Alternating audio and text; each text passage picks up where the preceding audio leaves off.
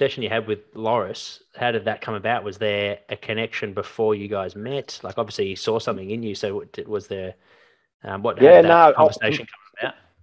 Really, really, honestly, by chance. Um, my my dad was living in Brisbane at the time, um, and I went up there to visit him, and he took me to a, a Lions Geelong game, and um, I don't know how it, it, ended up, but yeah, we, we ended up down in the Geelong rooms for some reason. I think he had a business partner, or there was some reason I was down there, and I saw Loris stretching the guys and handing out drinks and all sorts of stuff, and I was sort of standing near him, and I just started talking to him, and he, he's a lovely bloke, Loris. I'm not sure if you um, know much about him, and um, he was really, really been, open. He's been, and, he's been on the podcast. He was a ripper. Oh, he's been on he, podcast. He, yeah, no, nah, he's yeah, yeah, and he and he, he was just yeah, he was just the loveliest bloke.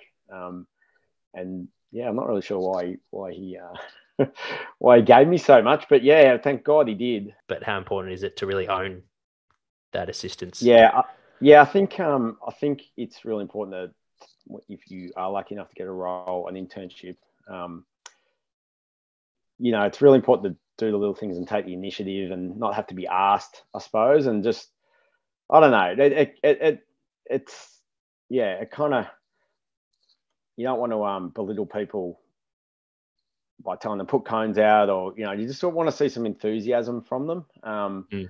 And and then I think in turn, when you see that and you see that someone's really into it and really excited to be in your environment and learn, um, you're probably more willing to give them more of your time um, to pass on what you you know and and kind of help them. And, and, going back to your career, like you mentioned, Loris, who are some other people that have helped influence your um, career? Yeah, I'm, I'm, really lucky. I've, I've worked with a lot of, um, I guess you call them high performance managers now or senior fitness guys. So Loris was my first. Um, with him was Chris Dennis, who taught me a lot about strength training. Loris taught me a lot about power. Actually, Loris Loris taught me a lot. Um, he was a great mentor and um, someone to bounce and learn a lot off. Um, after after the Cats, I was lucky enough to get a job. Um, so have you, you do you know Cam Falloon, who is yep. quite a successful business guy with he's been on Body as well. Fit. Oh, has, mates yeah. been on so Cam, um, Cam and I were at the Cats with Loris in 2006, um, and um, that all ended, and, and Cam got hired as as head of fitness or whatever the role was called back then at um at the Western Bulldogs. And how have you found you've changed your philosophy, both S and C's, yeah. but also for athletes listening, for footballers that want to that don't have access to an S and C? How should a footballer yeah. be preparing for the game? Do you think?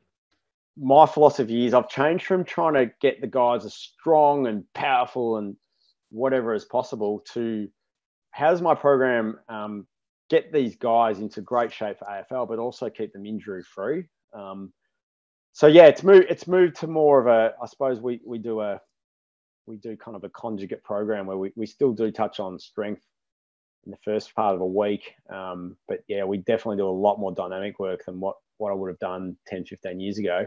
What about our favorite inspirational quote or life motto?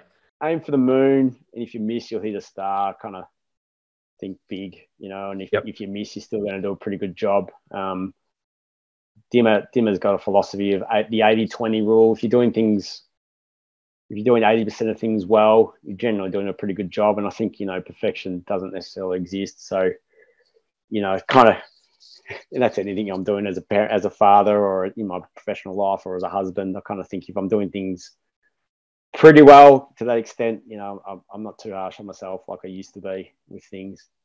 Hope that makes yep. sense. Yeah, hundred percent. That's a good one.